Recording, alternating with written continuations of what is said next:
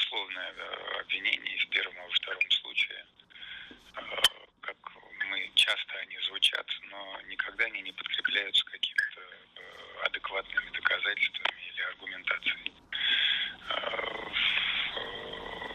Мы абсолютно, абсолютно не приемлем подобное обвинение. Я не располагаю информацией о том, что